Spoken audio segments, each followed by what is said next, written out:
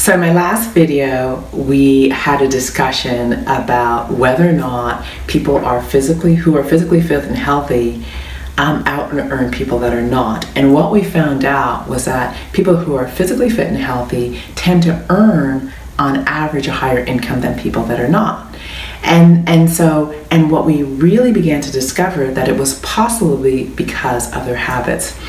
So for me, it brought me back to a situation, or or when I was 13, rather. Um, and when I was 13, I ran track in high school. I had just gotten to high school. And at one of our meets, we had a coach come out. His name was Luke Bienvenu.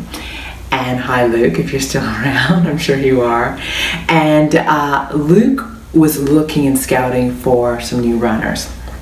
And he chose four girls from my high school, and it's this little high school in the middle of nowhere in the eastern townships of Quebec.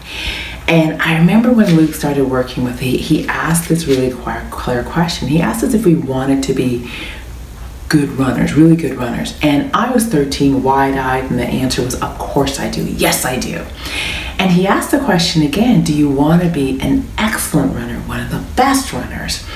And being 13, I was like, absolutely, I definitely do. But then he asked the question a third time, and it was like, well, why would he ask it a third time?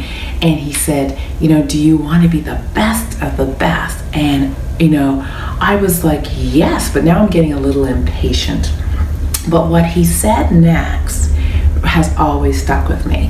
He said that if you want to be a great runner, an excellent runner, the best of the best, you would have to become a great runner now. You would have to embody the habits, the lifestyle, the attitudes, and the behaviors of great runners. And so, you know, as I as I'm older, I what I understand he's saying is that you'd have to become that which you seek now. And so as he began to train us, he really trained us like top athletes. He told us uh, when we were supposed to train what times we were supposed to train, and we often trained in the summer, particularly twice a day. He told us that what we were supposed to eat and what we were not allowed to eat.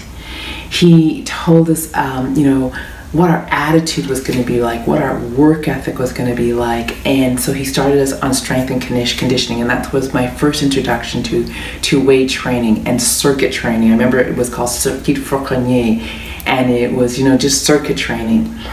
And I remember one practice, uh, he brought us to the bottom of this, this mountain to me in the time, and he said our practice was to run up this mountain. And we all looked at him like, well, he was nuts. And he started running and he said, you better get going.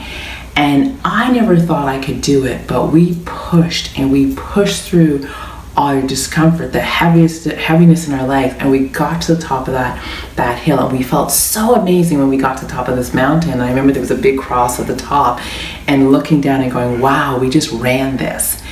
And then another practice, he took us to this uh, to me it was a cow field, a cow pasture, I don't know what they're called. And he had us do our intervals in that field. And he said that if we, we were gonna have to get our knees up or else we would fall and it would actually extend our stride.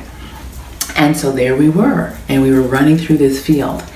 And then one day he brought us, we, I got to practice, and it was one of those hot, hot summer days. And I was sure we were not going to get on the track because in that day the track was tar, it was, it was uh, it was hot and you could just see the steam rising off. And he hosed down the track and told us to get into our blocks and we were practicing starts of all things that day. And there, you know, you gotta get out fast. And um, and we continued these different things.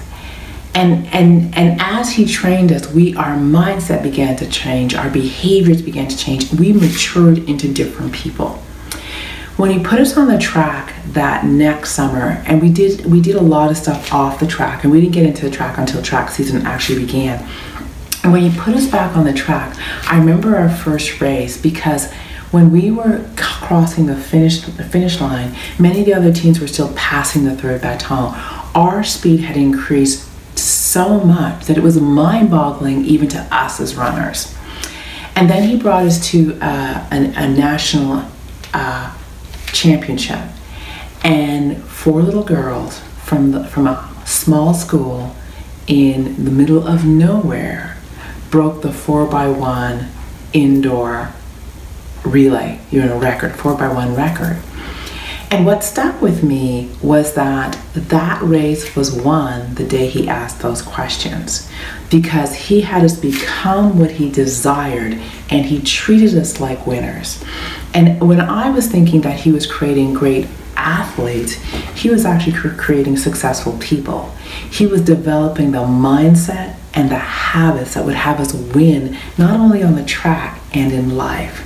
So when you go back to my question of why physically fit and healthy people tend to earn more income is because that the discipline of taking care of your body is the most intimate relationship you'll ever have. It is you mastering yourself.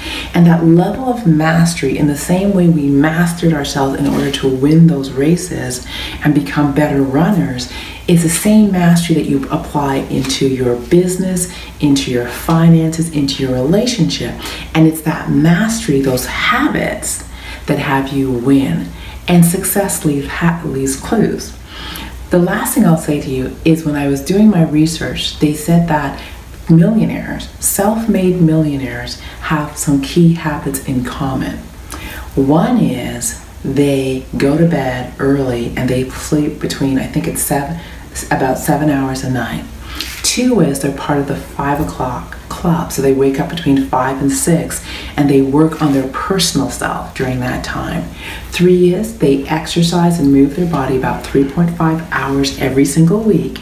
And the fourth one was they tend to have a healthier than average meal plan. And so, and that level of personal mastery and discipline, they believe impacts how they are in business. So, do physically fit people earn more income? Above average. And the reason is why is because of their level of mastery and their habits impact everything else in their life. So I'd love to hear your thoughts. Talk to you soon.